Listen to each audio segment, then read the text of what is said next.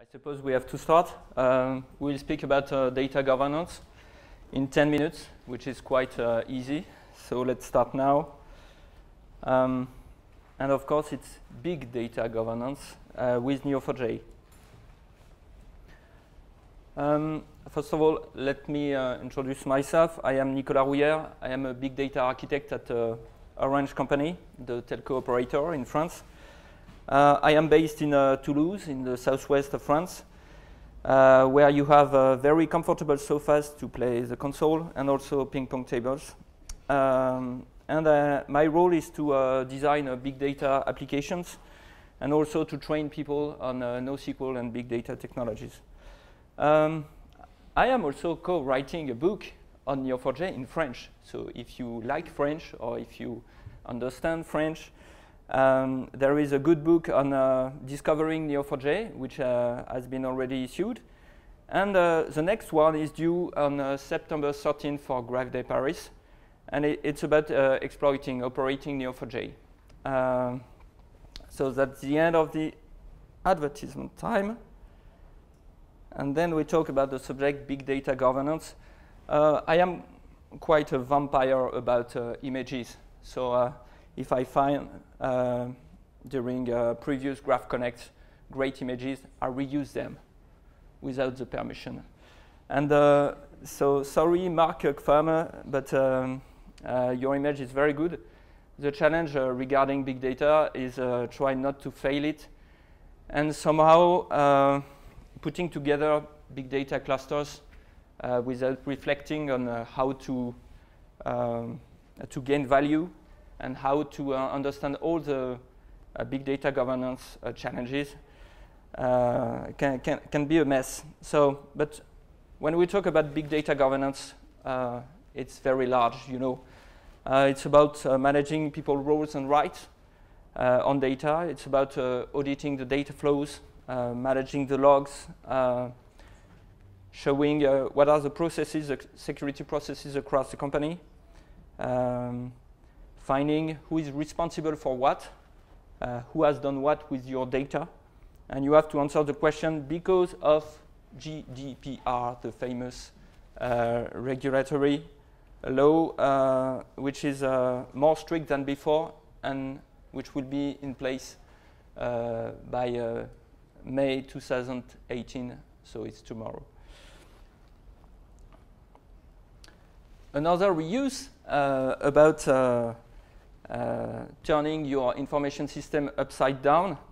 Uh, it was uh, last, last year, Schleich company demonstrated that when you have historical data silos, and uh, your challenge is to understand how those data are connected together, uh, then you, you want to, uh, to put metadata over them and then connect them together. But sometimes uh, it's not worth it, and you have to, uh, to come from the beginning and uh, reverse the slide. Sometimes it's easy to do it in PowerPoint, but not in real life, and uh, connect the data together from the beginning and then build your uh, application on top of them.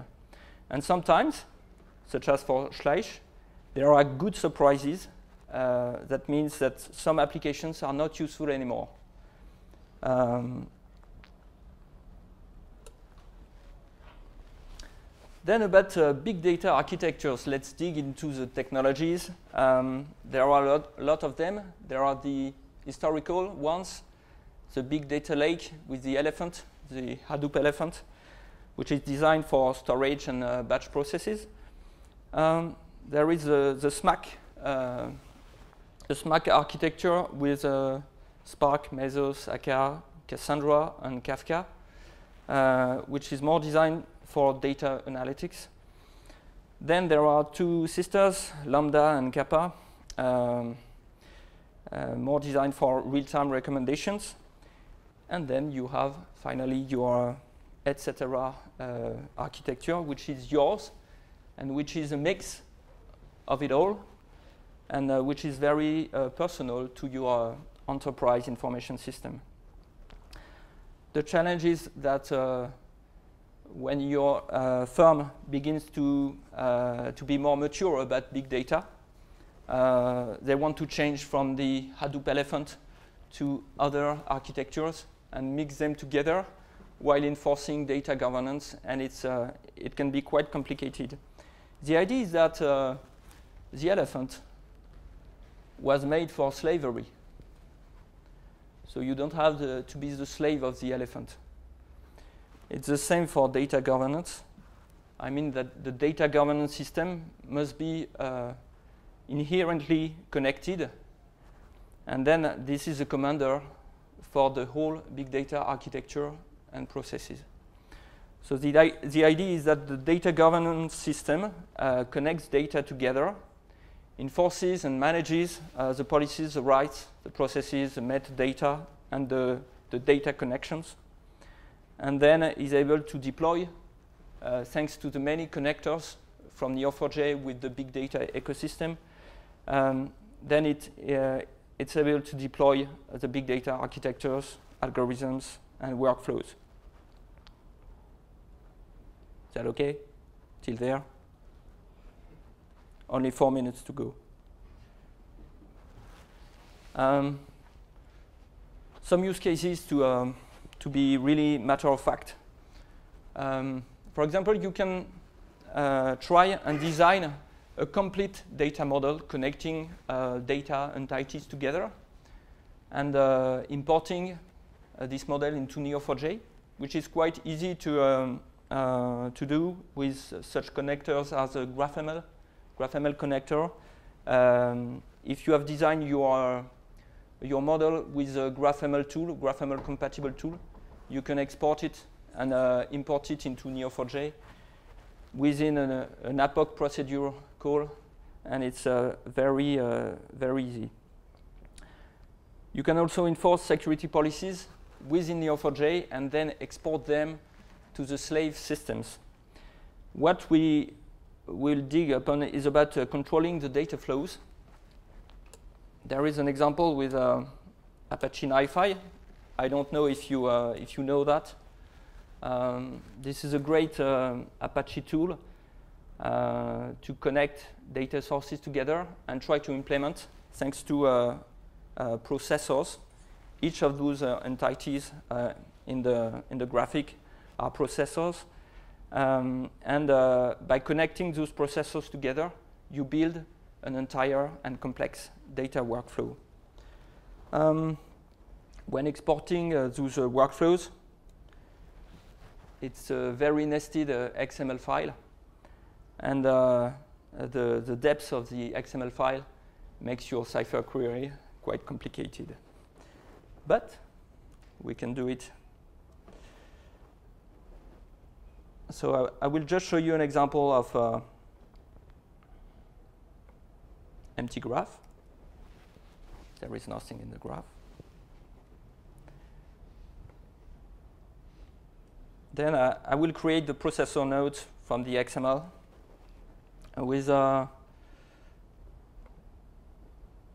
bit complicated query. So uh, I call the APOC procedure load.xml. Then I have some transformation to do because uh, there are nested information. So I have to unwind them and uh, unwind them again and so on. Uh, so that I, I find the, uh, the leaves uh, of the XML document. And then I am, I am able to, um, to create a processor node within the graph and return it uh, in the Neo4j da database. Why is it so important to, uh, to do that? Because you, you are able to, to control from your uh, original uh, data governance uh, system which data flows are able to pass through your information system.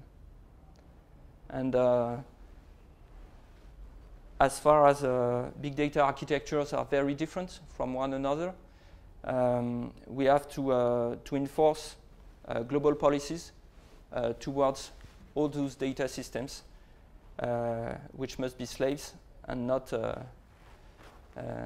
and not conversely, you, you don't have to be the slave of your big data system. Ah, seems it's like my conclusion. there was something more about it. Oh yes, we can keep in touch together if the subject uh, uh, interests you. And uh, I'm pretty much uh, concerned about uh, having Fika with you if you want to discuss the subject more deeply. Thank you very much.